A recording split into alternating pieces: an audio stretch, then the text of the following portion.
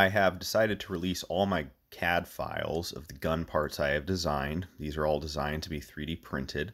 I will link to my GrabCAD models page in the description. Some designs require hardware, and I have added Amazon links in the description of this video as well as in the description of the parts on GrabCAD.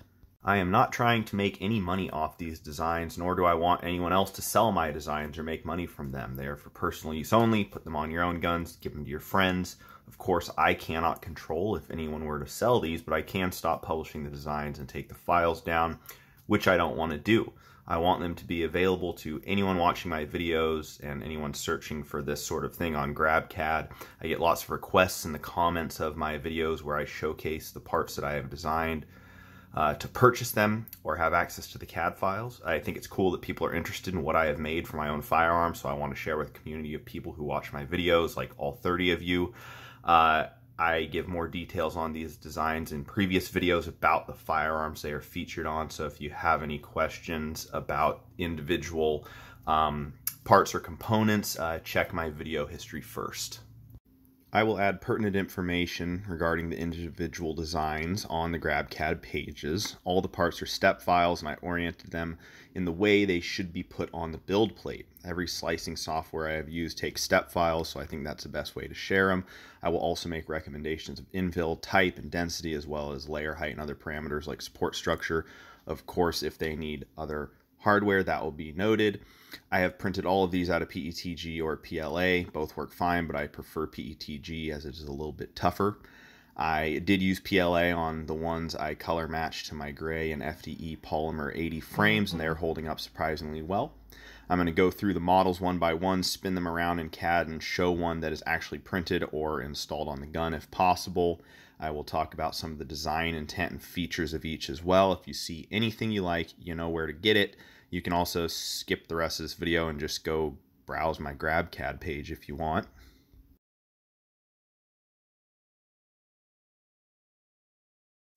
I have designed four different magwells for the full size and compact size polymer 80 frames. I cannot guarantee fit as there are different versions of the frame. I have also verified fitment on a Grey Ghost precision frame as well. They seem to be the same as the Polymer 80 frames. These designs were based on P80 frames labeled V2. I had to design magwells for the compact and full-size frames separately because the bottom of those frames is different between the two sizes. The full size, Glock 17 size, magwells are labeled as PF940 on GrabCAD, and the compact or Glock 19 size are labeled as PF940C, which is the name that Polymer 80 gives their frames. All these magwells attach in the same way, an M5 by 0.8 uh, heat set threaded insert is inserted into the hole at the back of the magwell. Then a button head screw goes through the hole in the grip to secure the magwell in the back. The magwell has a lip in the front that secures over the bump in the front of the grip. The heat set inserts require a soldering iron with a tip attachment um, size for the hole of the insert. All this is available on Amazon. Links, of course, are in the description down below, and pertinent links are on the GrabCAD pages as well. The idea behind this magwell that I am calling the carry magwell is a low profile magwell that helps with reloads while being minimal and allowing magazines to be stripped with the relief cuts on the sides. This one has an angled back that is designed for concealed carry as that is where the firearm will usually print. All these magwells have bumps on the sides that help fill in the bottom part of your palm. It's like a little mini palm swell. I added this feature because it felt good in my hand and add a little bit of stiffness and rigidity to the side of the magwells. This style and the next both work with factory magazine base plates as well as Magpul and ETS mag base plates. This version is the same as the carry magwell, but the back is not cut at an angle. This gives a little bit more real estate for your hand, especially on the compact frame. I call it the full funnel carry magwell.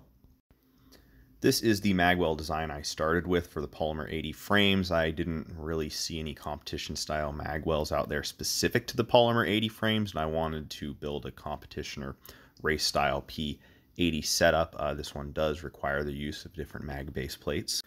I wanted to add weight to the frame. Lots of competition style magwells have weight inserts to help control the gun. I purchased some of these quarter ounce tungsten fishing weights uh, off of Amazon and designed this version of the original competition magwell to hold four of these weights. That was kind of a packaging nightmare, but I pulled it off. So this weighs about 1.5 ounces.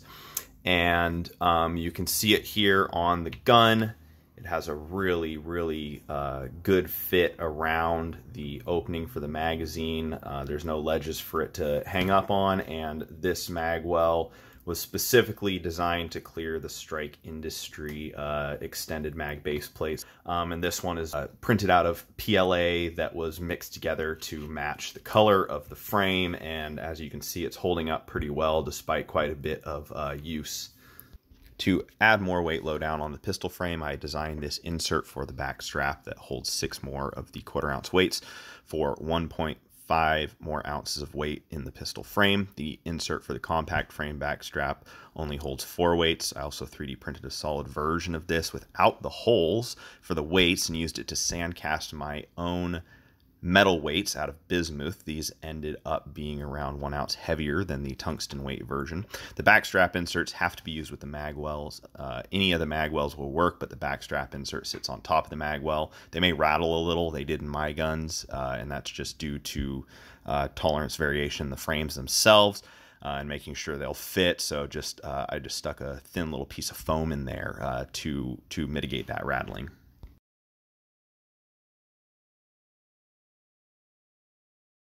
Next up is HKP30 Magwell. I got lots of requests for this one on the video I posted on this firearm. I recommend printing it out of PETG. It has some thin uh, features that need to be able to flex a little bit to conform to the grip. No hardware needed. It just secures on the front of the grip and then the roll pin for the back strap holds it in in the rear. This does work with factory magazine base pads, um, but you do lose your ability to strip the magazines out like this if you have this magwell on there. I did buy and test out the HK Parts magwell for this gun that is machined from aluminum, and the fit was so hilariously bad I designed my own out of spite. Um, this thing's held up well. I've been running it for hundreds of rounds. Uh, this will fit the P30 and the P30L. It will work with any of the side plates and any of the backstrap sizes, although the profile of the piece where it attaches to the grip is meant to match the medium size backstrap.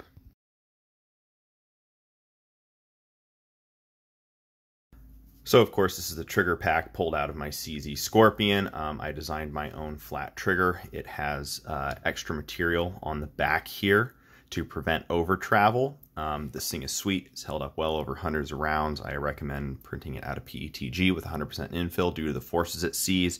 Um, of course, mine may be holding up better than it would in a factory Scorpion because I have the HBI um, reduced power uh, trigger spring kit in here, which I highly recommend uh, for any Scorpion if you intend on keeping the factory internals and not going to like a Timney unit.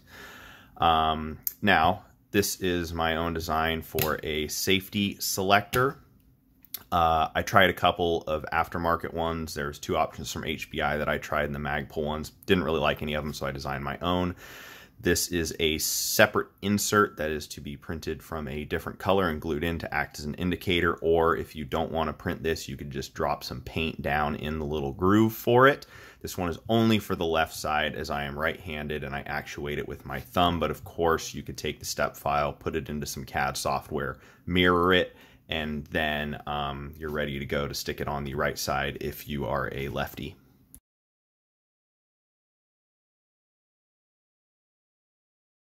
There wasn't a lot of options for Streamlight specific pressure pad mounts out there, so I designed my own. This one is specific to the Streamlight pressure pads that have the momentary and constant on button. I run this on my Scorpion with a uh, TLR rail mount 1. It's been working great. Again, recommend PETG for strength and 100% infill. The M-LOK pattern is slightly offset and only two holes need to be used uh, for mounting, and this allows for versatility in mounting positions, so you can get it positioned exactly where you want it on your M-LOK rail. I also wrote the torque spec on there because I like when companies do that. You obviously need to purchase M-LOK hardware for this to work.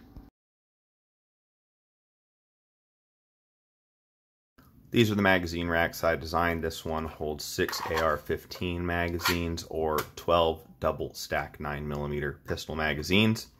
This one holds five AR-10 magazines or five AK-47 magazines. It also holds 10 CZ Scorpion magazines, depending on the base plates they have on them.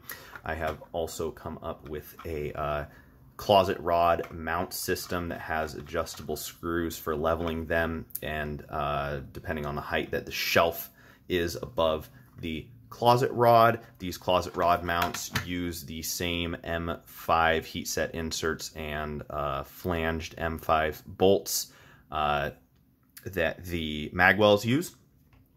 Um, the spacing of these mounting holes is on one inch centers, so it can be used with like the uh, the one inch pegboard grid, uh, or fire some screws into a wood board, or attach a magnet to the back of it, screw it into the side of your your your uh, your gun safe or, or whatever. They're pretty versatile, um, and they've been holding up really well. I've had fully loaded magazines hanging on these things for months. Um, and that's only at like 25 or 15% infill if I remember correctly, PETG or PLA. Um, I also have published in the past a whole video on these that nobody watched, so if you're interested in more information on these, go check my uh, video history on YouTube. That's all I got. Quick overview of my designs. This is uh, all up on GrabCAD right now. I hope some of you uh, download them, 3D print them, and enjoy them. Print them for your buddies, share them. Uh, put them on your own guns. Let me know how they hold up. Uh, thanks for watching and being a part of this very small community that is my channel on YouTube.